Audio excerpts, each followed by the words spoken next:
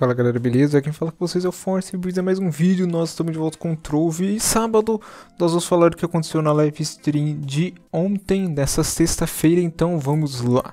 Primeiro de tudo, essa live stream eles não deram muitos spoilers, então vamos começar sem mais delongas.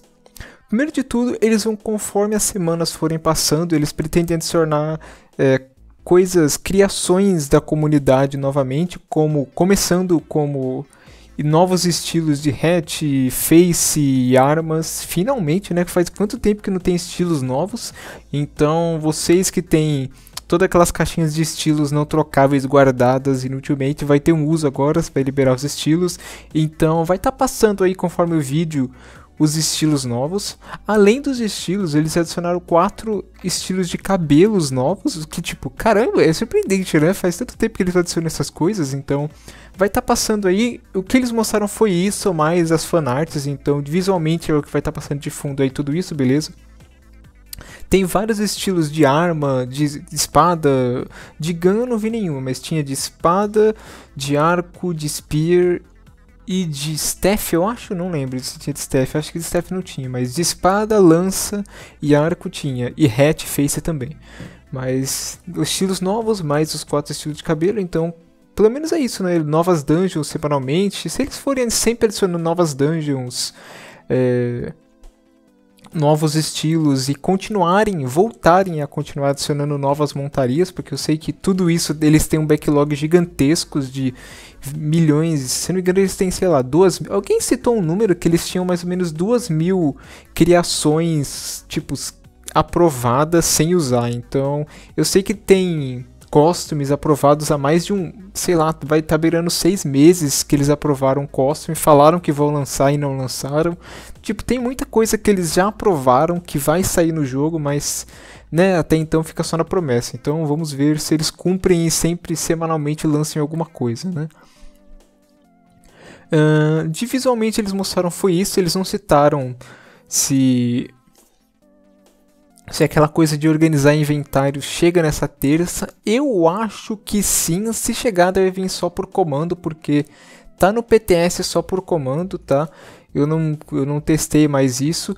E deve chegar é, deve chegar nessa terça também algum tipo de milhões de concertos e preparações entre aspas para o console. Então já tem essas coisas no PTS então deve chegar. Eles devem arrum... segundo eles, eles estão focados em arrumar aqueles bugs antigos ainda. Vou... Lembra que o Avren tinha citado? Como exemplo, o bug do Darkolite, é... do Luna Lancer, que tinha mais uma classe, do Gunslinger, se eu não me engano. Que já são bugs bem antigos. Mas por enquanto é isso. Essas são as coisas que estão no PTS. O que mais? É, perguntaram sobre a surpresa que o Avni falou que tinha pro Brasil. Ele ainda não revelou, então não sabemos o que é. Eu ainda acho que é. Eu não sei se é só a tradução PTBR, não sei. Porque se fosse só tradução, será que é uma coisa tão grande pra ele fazer tanto drama assim? Não sei, né? Enfim, vamos ver. Eu acho, para mim, é só tradução. Não sei mais o que poderia ser. Mas, enfim, né? O Averin tá dando esse suspense todo. Ele falou que tem muita gente que joga no Brasil e ainda ele ainda não revelou. E eles citaram que na próxima stream eles devem realmente dar algum spoiler. É, então, se o Averin falou que vai dar algum spoiler, às vezes eles, tudo bem que muitas vezes eles estão prometendo coisas e não estão lançando, como por exemplo a Lhama, lembra da Lhama? Não, muitos, não muitas lives atrás que eles mostraram e não veio até agora. Então, mas creio que seja a nova classe. Semana que vem é, é, possível, ele não citou que é a nova classe, mas ele falou de uma forma como se fosse um spoiler bem relevante. Ou os novos dragões, enfim. Mas vamos aguardar até a próxima live. Continuando essa live, é, ele questionaram se eles tinham, se o tinha algum plano para fazer alguma forma de você craftar a Empower de Gembox, assim como tem a Gembox, que você desconstrói as, as gemas grandes e faz uma caixinha de gema estelar. Se ele vai fazer algo com a Empower de Gembox, ele falou que não, e é bem possível que isso não aconteça, só se for muito no futuro questionaram se eles vão adicionar um dia alguma história, alguma lore pro, Toro, pro Trove. E eu acho que seria uma coisa interessante, mas não sei, não sei porque ainda não tem uma. Mas quem sabe no futuro. Eu, eu acho que não é muita cara deles criar história assim, mas que seria legal seria. perguntaram se o Averin pretende fazer um loot collector maior e ele respondeu que maior não, mas ele quer fazer mais eficiente, algo como você simplesmente clique e desconstrua as coisas que você quer automaticamente. Isso certeza que virá no futuro, mas né, ele ainda tem que pensar um jeito de quando sair isso, mas no futuro isso vai acontecer e vai ser mais ou menos assim que vai funcionar. Você vai desconstruir alguma coisa automaticamente. Uma boa coisa seria meio que você selecionar uma parte do seu inventário, então você sei lá, você sempre anda, vamos supor, com as três primeiras, com as duas primeiras linhas do inventário ocupado. Então você seleciona o resto e tudo que tiver no resto você desconstrói. Seria, acho que algo em torno por aí. Você tranca uma parte do inventário para não desconstruir e o resto você desconstrói. Acho que fazendo alguma coisa assim seria interessante. É, questionaram se o Trove vai ser de graça nos consoles, e sim, vai ser de graça. Lembrando que Trove nos consoles no PlayStation 4 e no Xbox One sai ainda esse ano, segundo a promessa da Trial. É, perguntaram novamente dos é, porque eles, se eles vão fazer Dust Tanks, né? Fazer uma maneira de você poder estacar todo o POC, assim como você já faz com Flux.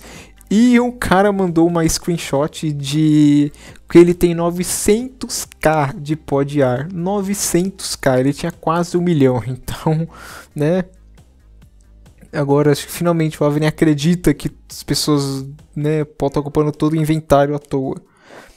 Né? Porque quando você quando você está procurando, quando você está upando a gema, você não tem um, tipo, você gasta tudo. Mas quando você está procurando uma gema, quando você está simplesmente upando a gema sem parar e ela falha direto, você gasta tudo, mas quando você está procurando uma gema boa, demora muito tempo, então você acumula muito pó nessa, nesse período. Então, deve vir no futuro, mas né, no futuro. E um carinha simplesmente perguntou, ficou bravo na live, falou, falou em caps, o Avery inclusive leu, tipo, vocês sempre falam, se vocês sempre sempre falam no futuro, no futuro, no futuro e eu quero saber das coisas que vão vir agora, não no futuro, tipo. Ele falou em caps no chat. Eu não sei quem foi, mas o Avery leu e ficou meio é, mais ou menos. Mas eu concordo com esse cara. Eu não sei quem falou, mas parabéns, eu concordo. É muito no futuro. Ele, ele respondeu que eles têm muitos planos grandes tal, que eles querem fazer, mas né, tá difícil desses planos saindo do papel. Uma última coisa que eles estavam live de importante, essa, ó, essa é importante, isso deve acontecer.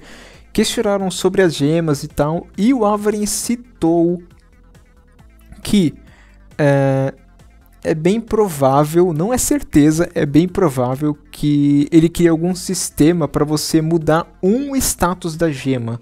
Então você poderia rolar, você poderia alterar um status da gema. Não sei como funcionaria, vamos supor, não sei se seria sempre o último status, sei lá, mas você poderia alterar um status da gema, o que já seria incrivelmente útil. Meu Deus do céu, imagina, tipo, é, já é o suficiente você poder alterar o Health, o Health Regeneration. Fechou, pronto já é só isso, mas isso deve demorar ainda para acontecer, certo? Mas seria uma gigantesca ajuda, seria, hein? Olha, mudar sim, só um, tá bom, só um, que você pudesse escolher qual fosse, sei lá. Se eu quero alterar o primeiro status, pronto, aí você tranca a gema, só pode alterar o primeiro status, sei lá, uma vez. Nem que fosse só uma vez. Mas já seria o suficiente, pelo menos é algo melhor do que não ter nenhuma tentativa de melhorar a gema com o status de Heart Generation. Mas foi isso que eles falaram na live, não tem muito mais coisas, certo? Uma coisa importante que eu já vou anunciar para vocês é, foi, foi até que chegou junto com os 10 mil inscritos, que não é, não é sobre a stream deles. Mas, seguinte, no meio desse mês eu acho, eu não sei, mas nesse mês, nesse mês, é, eles anunciaram o. Como é que chama? Deixa eu pegar aqui o nome certinho. Ah, só que com fórum aberto, news, Ladybug, não. Aqui. Que é o Trial Worlds Creator Program. É, lembra aquele quando eles lançaram os Streamer Dreams, eles tiveram, eles criaram alguma coisa parecida com isso. Então, você se comunicava com eles e eles te mandavam códigos. É mais ou menos isso. Só que dessa vez foi uma coisa mais organizada e mais bem feita. Então, tipo, você acessava um link, e você preenchia, um, você preenchia um, várias coisas lá, né? E o mais importante é que, tipo, você falava o que você era. Então não é só streamer. Tinha lá streamer, é, você poderia você, você produzir alguma coisa streamer, vídeo, é, se você era modder, se você criava coisas no Trove, né? Você mexia com mods, ou se você mexia com arte. Então você criava, sei lá, fanart, eu não sei, mas tinha mais ou menos essas quatro coisas, então era mais amplo, não era só streamer, né? Você criava algum tipo de conteúdo desse sentido.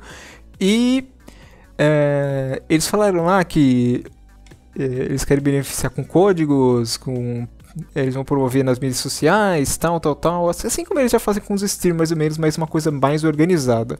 E eu mandei, mandei por e-mail lá tudo e eu fui aceito hoje, nesse, no dia que eu tô gravando, que é sexta noite, eu fui aceito. Eles me enviaram. Eu ainda tenho que verificar certinho, eu tô me comunicando com eles para ver como vai funcionar algumas, alguns pontos, mas pelo menos é, alguns, alguns códigos eu já tenho aqui em mão, poucos, mas alguns eu já tenho em mão, então assim que eu tiver alguma certeza, que eu tiver alguma resposta de tirar as dúvidas com, com o suporte deles aqui, é, eu anuncio como vai funcionar, certo? E uma coisa que eu preciso perguntar para vocês, é muito isso é muito importante. Eu acho que 99% deve jogar só Trove, mas é, Talvez, eu não sei se é certeza, mas talvez eles me deem códigos também de outros jogos que não seja só Trove, mas não vai adiantar se não tem gente que joga os outros jogos. Talvez Atlas Reactor, não sei. Se você, tipo, se você joga constantemente ou sei lá, nem que seja uma vez por semana, se você joga é, algum outro jogo da Trial, deixa aí nos comentários, é muito importante mesmo, deixa nos comentários se você joga algum outro jogo, sei lá, nem que seja uma vez por semana, se você acompanha, se você joga sempre, mas é bem importante que você deixe isso nos comentários. Mas a princípio é isso, então esperem novidades aí. Assim que eu acertar com eles, eu já falo como vai funcionar. Não adianta me mandar mensagem querendo comprar alguma coisa, querer comprar código que eu não vou vender. Então nem tenta. E é isso. Sobre a live, sobre as novidades, é isso. Mais pra frente, provavelmente semana que vem ou conforme o andamento dessa semana eu explique como vai funcionar os sorteios. Então é isso. É, não esqueça de deixar seu like nos comentários, se inscreva caso você não seja inscrito no canal ainda. É, e nós vamos ficar por aqui. Muito obrigado a todo mundo que assistiu. Valeu, falou, até o próximo vídeo.